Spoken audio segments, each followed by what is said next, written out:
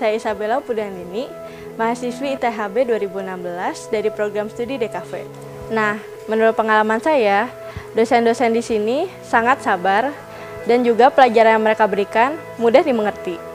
Dan di ITHB juga kami diajarkan untuk bekerja sama dan saling mengenal dengan teman-teman satu angkatan yang meskipun berbeda jurusan.